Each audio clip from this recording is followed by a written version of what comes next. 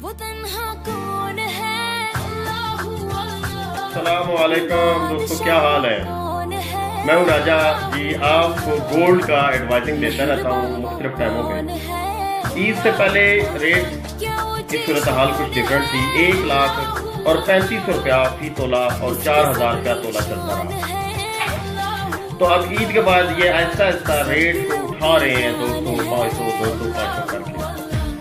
अब अगर आलमी मंडी में देखा जाए तो दो तीन दिन पहले जो आउंस की कीमत चल रही थी, वही आज भी है। लेकिन रेट तेज है इसकी क्या वजूहत है? ये मेरे ख्याल को कुछ अवामत चेक करने पड़ेंगे कि ये आर्जी रेट ऊपर जा रहा है या कि कोई खास वजह है। क्योंकि रेट जब भी ऊपर जाता है, उसकी खास वजह यह होती है कि आलमी दुनिया में कहीं कोई हलचल हो, कोई लड़ाई झगड़े का खतरा हो, किसी मुल्क का, किसी मुल्क पर तो वो इस वक्त सोने की और ऑयल की कीमतें चढ़ जाती हैं, जिसकी वजह से सोना ऊपर चला जाता है।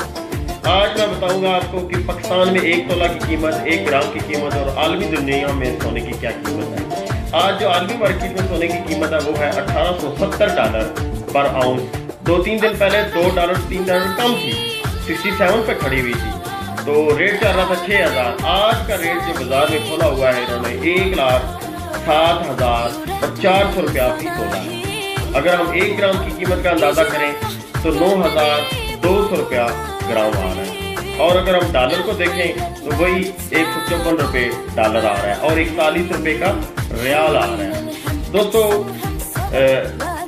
मेरे वीडियो चैनल देखते रहा करें। मैं इसमें मुख्तलिफ़ टाइमों पे कुछ ना कुछ आप लोगों को बताता रहता हूँ। चैनल को सब्सक्राइब लाइक और शेयर भी ज़रूर किया करें। मुझे व्यूवर्स चाहिए। मैं इस चैनल को मोनेटाइज करना चाहता हूँ। मैं आपकी खिदमत के लिए लगा हुआ हूँ। थोड़ा सा मोनेटाइज कर देंगे तो मेरा भी कुछ बन जाएगा।